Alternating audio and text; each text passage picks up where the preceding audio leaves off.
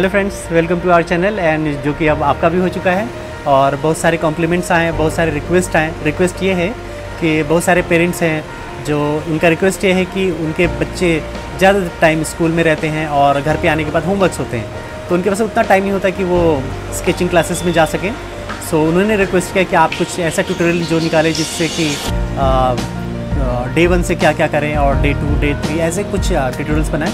तो क्योंकि बहुत सारे लोगों का ये कन्फ्यूज़न होता है कि पेंसिल है मेरे पास पेपर है लेकिन ड्रॉ क्या करना है? तो उसके लिए मैं कुछ बताऊँगा कि आप कौन सी ऐसी बेसिक चीज़ें जो स्टार्ट करते हैं और स्टार्ट करने के लिए आपको पेपर पेंसिल और रबर वगैरह तो बेसिक चीज़ें हैं तो उसको ड्रॉ करना क्या होता है? और बेसिक चीज़ें क्या होती है जिससे कि ड्रॉ करके आप आ, आगे की स्टिल लाइफ हुआ या फिर आप मेमोरी ड्राइंग हुए ऐसी बहुत सारी चीज़ें होती हैं जो आप ड्रॉ कर सकते हैं। तो वो बेसिक चीज़ें क्या हैं?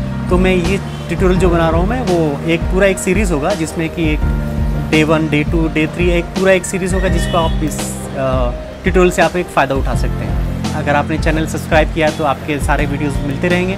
और ज़्यादा से ज़्यादा शेयर करें। अगर आपने चैनल सब्सक्राइब नहीं किया तो सब्सक्राइब करें। और आगे आने वाली वीडियोज़ का फ़ायदा उठाएँ। और ज़्यादा से ज़्यादा शेयर करें, जिनको आपको लगता है कि ये आपके फ़ायदे के लिए है या आपके बिलोंगिंग्स के लिए फ़ायदा है तो आप उसको शेयर कर सकते हैं और लाइक कर सकते हैं। थैंक यू जैसा कि मैंने आपको बताया था कि एक पूरा सीरीज़ होगा, जिसमें मैं आपको बताऊँगा कि डे वन से कैसे स्टार्ट करें। तो डे वन में आपको मैं बताऊँगा कि सबसे पहले आपके पास पेपर है पेन है और आप कहाँ से स्टार्ट करेंगे। तो बहुत सारे लोगों को मैंने पूछा कि आप एक सीधी लाइन कैसे खींच सकते हैं? तो उन्होंने ऐसे कुछ ड्रॉ किया, ऐसे ऐसे ऐसे। तो फिर क्या है इसमें एक कॉन्फिडेंट स्ट्रोक्स नहीं तो डे वन में आपको मैं बताऊँगा आज। तो सबसे पहले जो ड्रॉ करते हैं हम, ये एक स्ट्रेट लाइन आपको एक स्ट्रेट लाइन ऐसे खींचना होगा। और ये मल्टीपल टाइम्स होंगे ऑलमोस्ट हंड्रेड टाइम्स और आपको ये लेफ़्ट टू राइट ले जाना है।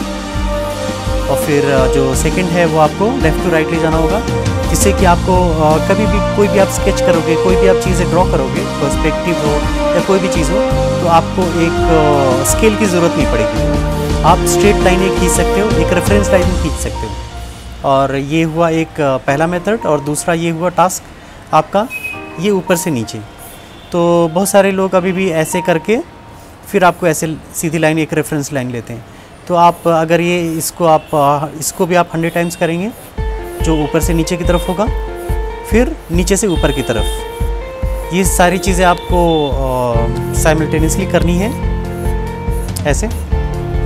और ये जब तक थोड़ी परफेक्ट ना हो जाए आपको करना है। और ये सारी चीज़ें बहुत बेसिक हैं जो आपको आ, कितने भी टाइम हो जाए आपको आपको करना है। बहुत सारे आर्टिस्ट हैं जो एवरी डे ये एक आ, कोई भी गेम खेलने के पहले जैसे वार्म अप होता है, वैसे ही एक वार्म अप टास्क है। ये आपका, ये सारी चीज़ें। और थर्ड है आपका सर्कल सर्कल में भी बहुत लोग को प्रॉब्लम होती है तो कुछ लोग ऐसे प्लस करके बनाते हैं। तो बहुत सारे लोग ऐसे ड्रॉ करके बनाते हैं।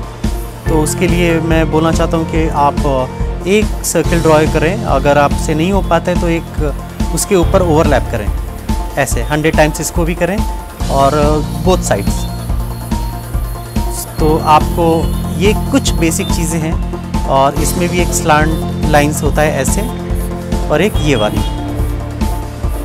फिर आप इसको नीचे से ऊपर ले जा सकते हैं और ऊपर से नीचे और इस साइड से फिर अपोजिट साइड सो ये कुछ बेसिक चीज़ें हैं जो डे वन में हैं और पूरे स्केचिंग लाइफ में आपको ये सारी चीज़ें आएँगी और यही सारी चीज़ें आपको आगे ही आने वाली है। जो कोई भी आप पेंटिंग करते हैं स्केचिंग करते हैं या कोई भी चीज़ करते हैं तो इन सब बेसिक चीज़ें हैं जो आपको each and every day practice करना है। सो so, ये कुछ बेसिक चीज़ें हैं आपको एवरी डे प्रैक्टिस करें और जितना आपका परफेक्ट होगा आगे आपका बहुत ही ईजी होगा स्केचिंग